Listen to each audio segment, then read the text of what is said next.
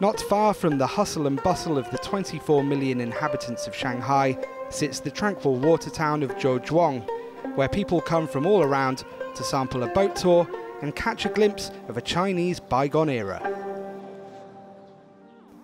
Meanwhile, on the other side of town, the spectators continue to pour into the Qizhong Forest Sports City Arena to catch a glimpse of some of their favourite tennis stars on the practice courts before play gets underway on day two.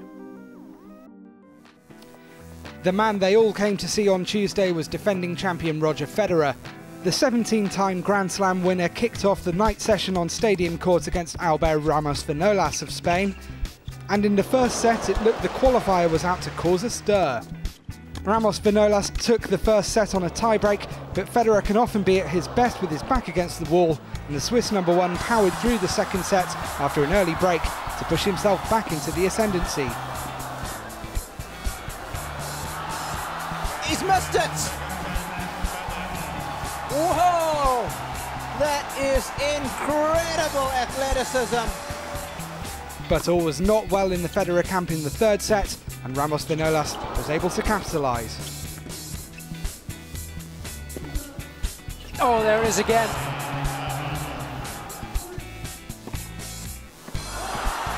And that, without a shadow of a doubt, is the biggest win in Albert Ramos Vinolas' career. It's, it's a very good moment for me and, and I think I, I did a good match and I'm really, really happy. I, I just tried to, to be focused on my serve because he was serving so good and I, and I was not winning a lot of points with, when I was returning so I thought I have to, to be focused on my serve and then we will see what, what's up if we go very, very, very close. I, just think the first round here in Shanghai has always been historically quite difficult, getting used to the conditions and the surface and the balls. Balls are play very different than in other places. Last year I got lucky.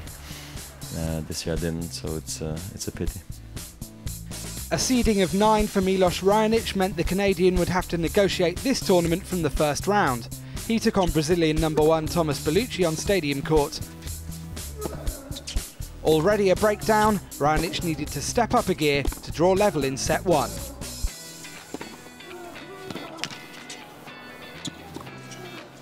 Oh, it's good tennis. Constructed the point beautifully and very intelligently too.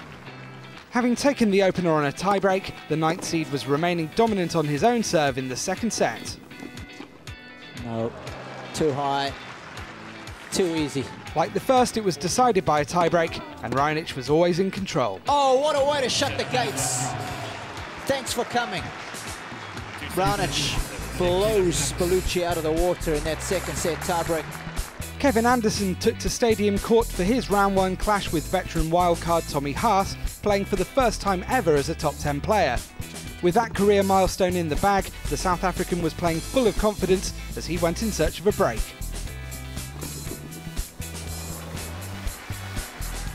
That break duly arrived and was enough to seal the set. In the early stages of the second, Anderson continued to look the more comfortable.